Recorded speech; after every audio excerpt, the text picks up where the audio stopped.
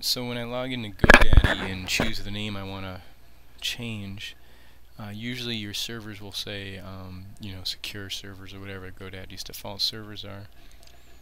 But what I did was come down here and you'll see host summary, or you'll see a different name down here, but it'll be obvious because then you'll add or edit. And that's where you put in your servers. And for me, I put in NS1 River Valley Web Hosting and NS2 River Valley Web Hosting or tech support. Um, if you go back to um, the ISPConfig system, you'll see how that relates um, inside of ISP config. There are um, there are servers here. Um, I think I use this one. Records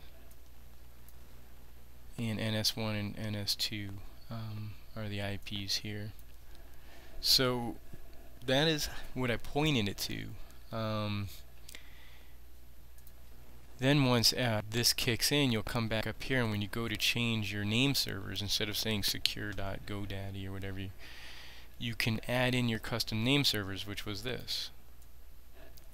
And um, those two steps then allow me to uh, have my own name servers with GoDaddy. Where if I didn't do the first step, when I go in there, it usually rejects them as unknown servers. and But that's it. Now you're in charge of the whole DNS thing.